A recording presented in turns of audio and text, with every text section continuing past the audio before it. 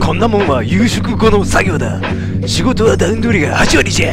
関東の気象が厳しい結果じゃ。あー！いやいやいやいやボーはい、えー、シャドウのシャドウです、えー給水管工事始まりましたこちら先ほどですねもともとあった給水管を切ってそしたらですね水が大量に流れ込んできてますね。ハウスの外からですねこういう斜めな感じですね。はい。このようにここも立ち上げちょうど通路ですね。でここがキュウリのメインのところですね。であちらも通路っていう形で開始わずかまだ1時間ぐらいですけどこの調子でいくと午前中でこれは終わっちゃいそうですね。一応ですね安く上げるためには早く終わらすはい。基本ですね。パイプを切ってますね。あれ？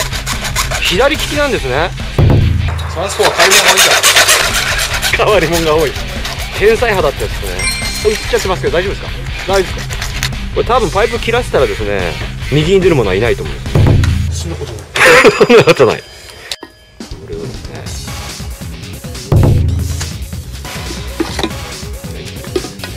こちらにも。はい、こんな感じですね。一気にいきます。溶けちゃって、固まっちゃうらしいんですよ。ハンマーで。込みながらですね。このように手が、手際よく。はい、こんな感じですね。任せくれ任せろガッツポーズで。すごっちょからすごいですね。チンタラやってるんだよチンタラやってるんだよチンタラやってるんだよこのテクニックは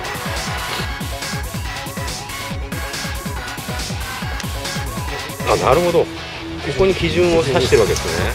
これですね。この基準はですねこの上の上のこの基準ですね。それがあれちょっとずれてるんですずれてるんだよ。このでかいバルブはですねあの一番最後ハウスの向こうに捨て水用にこのバルブを開けると捨て水ができるように、はい、砂抜き排水用のバルブまでくっつけましたね。で今はですね氷をつけてはいあんな感じで。ずらーっとなってます。はい。社長直々ですね。遅くってんのさん。ザキさんが遅いからダメだ。ラスト。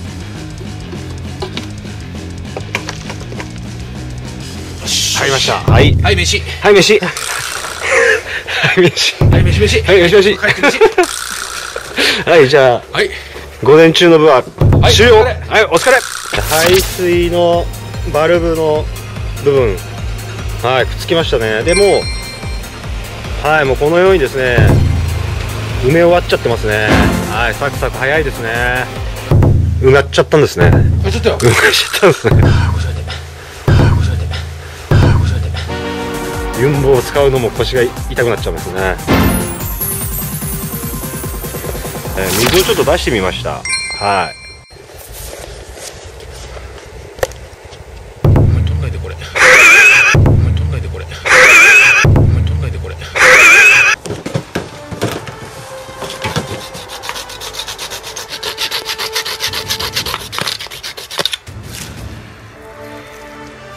はいこれは面位置ですね。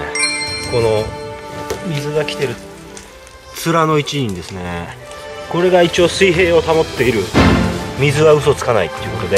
はい。おお出てますね。おお全部。何一つつまりなく。出てますね。はい。はい。じゃあ一言。社長よろしくお願いしますありがとうございました。ありがとうございました。9万ぐらいかかりますから。ありがとうございました。9万ぐらいかかりますから。ありがとうございました9万ぐらいかかりますから。よ49万安いありがとうございました。ろしくではい。いやよろしく。46万ほにゃららで。はい。こんな感じですね。で今回クイズは何の工事をしてもらったかですね。前回クイズの回答はえー、ああちらのトラクターの名前をお答えください。